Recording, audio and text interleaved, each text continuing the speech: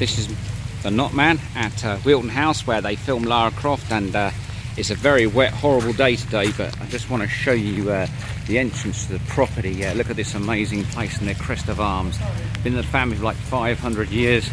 That to me is a fantastic place. I'm going to swing around now so you can actually see the lovely garden. And in better weather, it's amazing here, yeah, as you can see, the fountain and the nice old garden here. Very, very nice. And as I said, Lara Croft was here in the film as her ancestral home, just standing down there, yeah, with her father. But uh, today I just want to put this little clip up as I'm a massive Lara Croft fan.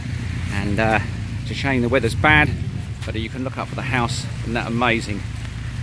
I will return next year when it's sunny and do some more filming. There's a massive car show going on here with loads of Japanese cars today. That's what some of the Green Planet had come to see, but for myself, it's a pilgrimage really to see Lara Croft's place where she was with her father. Anyway, I shall pan back towards the house now, and uh, I hope you enjoy this clip. So uh, Wilton House is well worth a valued look.